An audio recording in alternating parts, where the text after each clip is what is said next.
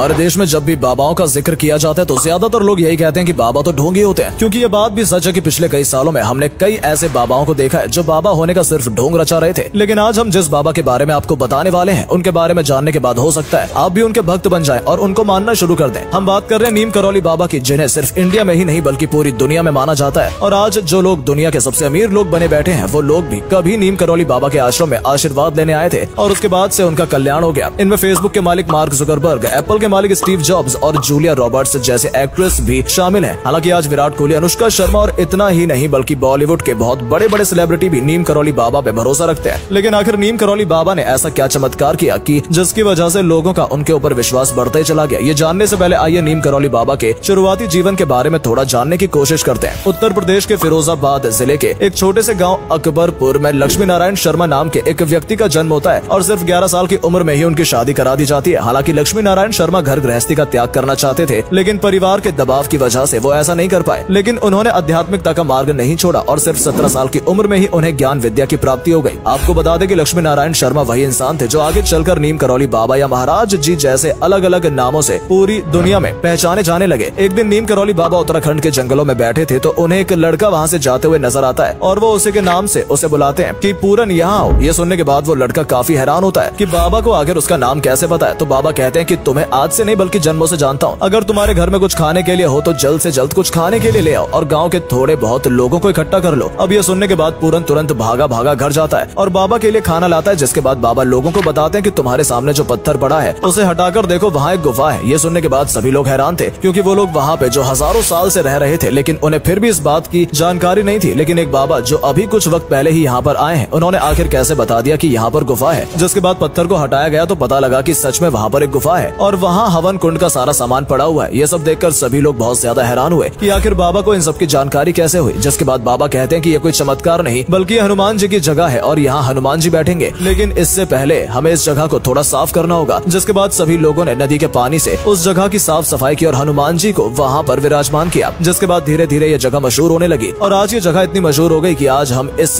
कैची धाम के नाम से इसे जानते हैं, जहाँ अमीर से अमीर और गरीब से गरीब लोग अपनी परेशानी लेकर बाबा के आश्रम आते हैं। सिर्फ़ इतना ही नहीं, बल्कि नीम करौली बाबा ने अपने समय में ऐसे कई चमत्कार किए हैं, जिसकी वजह से लोगों का भरोसा उनके ऊपर धीरे धीरे बढ़ता चला गया। ऐसा ही एक किस्सा बहुत ज़्यादा मशहूर है कि एक बार नीम करौली बाबा दिल्ली के किसी किले में ठहरे हुए थे। तभी लोग अपनी अपनी परेशानियाँ लेकर उनके पास आने लगे और बाबा उन्हें उनकी समस्या का निवारण बताने लगे। उन लोगों में कुछ लोग ऐसे भी थे जो बांग्लादेशी थे। एक बांग्लादेशी उनके पास आया और वो दिखने में बहुत ज़्यादा परेशान लग रहा था। इससे पहले की वो अपनी परेशानी नीम करौली बाबा को बताता। नीम करौली बाबा ने उससे कह दिया की तुम्हें परेशान होने की ज़रूरत नहीं है। तुम्हारा भाई जल्द ही रिहा हो जाएगा और वो एक दिन राज करेगा। ये सुनने के बाद वो बांग्लादेशी लड़का काफ़ी हैरान हो गया। सबसे पहले तो उसे ये समझ नहीं आया कि बाबा को आखिर उसके भाई के बारे में कैसे बताए और दूसरी चीज़ ये थी कि उसका भाई पाकिस्तान की जेल में बंद था और उसे फांसी की सजा सुनाई जा चुकी थी, यानी उसे किसी भी वक्त फांसी दी जा सकती थी। ऐसे में बाबा का ये कहना की तुम्हारा भाई एक दिन राज करेगा, ये बात उसके कुछ समझ में नहीं आई, लेकिन एक दिन बाबा की कही हुई ये बात सच साबित हुई। पाकिस्तान की जेल में जो बंद था, और वो कोई नहीं, बल्कि शेख मुजीबुर रहमान था, जो की बांग्लादेश का पहला राष्ट्रपति भी बना। हालाँकि पाकिस्तान ने उसे सजाए मौत ज़रूर सुनाई थी, लेकिन उसकी सजा से पहले ही पाकिस्तान और भारत में जंग छिड़ गई, जिसकी वजह से बांग्लादेश अस्तित्व में आया और जब राष्ट्रपति का चुनाव किया गया तो शेख मुजीबुर रहमान को ही बांग्लादेश का पहला राष्ट्रपति बनाया गया। हालाँकि बाद में जब एक इंटरव्यू के दौरान उनके भाई से इस बारे में पूछा गया तो उन्होंने कहा कि बाबा ने उस दिन जो कुछ भी कहा था, वो बिल्कुल सच था। उस जमाने में एक बड़े मशहूर लीडर हुआ करते थे, जिनका नाम गोविंद वल्लभ पंत था। एक दिन अचानक ये खबर आई कि गोविंद वल्लभ पंत का निधन हो गया जब बाबा को पता लगा कि गोविंद वल्लभ पंत का निधन हो गया तो उन्होंने कहा कि ऐसा नहीं हो सकता, क्योंकि उनका समय अभी नहीं आया है और वो भारत की राजनीति में अभी और भी लंबे समय तक काम करेंगे और आपको जानकर हैरानी होगी कि बाबा की कही हुई बात पूरी तरह सच थी, क्योंकि गोविंद वल्लभ पंत के निधन की खबर झूठी थी। हालाँकि ये बात सच है कि उस दौरान उनकी तबीयत बहुत ज़्यादा खराब थी और किसी भी वक्त उनका निधन भी हो सकता था, लेकिन उनका निधन हुआ नहीं था। और जैसा की बाबा ने कहा था की वो कई साल तक और भी काम करेंगे, बिल्कुल ऐसा हुआ भी। हो सकता है आप लोगों ने नीम करौली रेलवे स्टेशन के बारे में सुना हो, लेकिन शायद आपको इस बात की जानकारी नहीं होगी की नीम करौली रेलवे स्टेशन के बनने के पीछे भी एक चमत्कारी कहानी है। दरअसल एक बार नीम करौली बाबा ट्रेन में सफ़र कर रहे थे। टिकट न होने की वजह से टिकट कलेक्टर ने ट्रेन रुकवा दी और बाबा को वहीं पर उतार दिया। इस बात से बाबा थोड़े नाराज़ हो गए और जब ट्रेन को दोबारा चालू करने की कोशिश की गई तो इस बार ट्रेन चालू नहीं हुई। कई घंटों तक ट्रेन की मरम्मत करने की कोशिश की गई, लेकिन उसके बावजूद भी ट्रेन चालू नहीं हो रही थी, जिसके बाद स्टाफ ने बाबा से माफ़ी मांगी और कहा कि वो ट्रेन में सफ़र कर सकते हैं। लेकिन बाबा ने शर्त रखी कि मैं ट्रेन पर तभी सफ़र करूँगा जब ट्रेन में मौजूद हर साधु का सम्मान किया जाएगा और जिस जगह मुझे उतारा है, वहाँ पर एक रेलवे स्टेशन बनाया जाएगा। और उसके बाद जैसे ही बाबा ट्रेन पर चढ़े, ट्रेन चालू हो गई और बाद में उस जगह पर Neem Karoli railway station station बनाया गया। दोस्तों, साल उन्नीस सौ चौहत्तर में एप्पल के मालिक स्टीव जॉब्स भी अपने दोस्त के साथ कैची धाम पहुँचे थे और यहाँ से वापस जाने के बाद उनका बिज़नेस इतने बड़े मुकाम पर पहुँच गया कि आज हम सभी एप्पल कंपनी को बहुत अच्छे से जानते हैं। सिर्फ़ इतना ही नहीं, बल्कि फेसबुक के मालिक मार्क सुकरबर्ग हज़ार कोशिशों के बाद भी फेसबुक पर यूज़र नहीं ला पा रहे थे तो वो भी स्टीव जॉब के कहने पर कैची धाम आए और बाबा के आश्रम में दो दिन रुके और उसके बाद फेसबुक ने किस तरह से तरक्की की है, ये हमें आपको बताने की ज़रूरत नहीं है, सिर्फ़ यही नहीं, बल्कि हॉलीवुड एक्ट्रेस जूलिया रॉबर्ट्स भी नीम करौली बाबर पर काफ़ी भरोसा रखती है। और इसके अलावा विराट कोहली अनुष्का शर्मा जैसे बड़े बड़े सेलिब्रिटीज भी आज नीम करौली बाबा के आश्रम में जाते हैं और उनसे आशीर्वाद लेते हैं। तो दोस्तों, अगर आपको भी ऐसा लगता है की हर बाबा ढोंगी होता है तो हो सकता है की इस वीडियो को देखने के बाद आपकी राय बदल गई हो, क्यूँकी सच में भारत के अंदर कुछ ऐसे बाबा भी रहे हैं, जिन्होंने पूरी दुनिया में भारत का नाम रोशन किया है और अपने चमत्कार की वजह से मानव समाज को जीने की एक उम्मीद दिखाई है। अगर आप कभी नीम करौली बाबा के आश्रम में गए हैं, वहाँ पर आपका अनुभव कैसा रहा कमेंट सेक्शन में हमें ज़रूर बताएँ। साथ ही वीडियो पसंद आई हो तो वीडियो को लाइक करें और अगर आप चैनल पर नए हैं तो हमारे चैनल को सब्सक्राइब ज़रूर कर लें, ताकि हम जब भी आपके लिए इस तरह की वीडियोस लेकर आए तो उसकी नोटिफिकेशन सबसे पहले आप तक पहुँचे।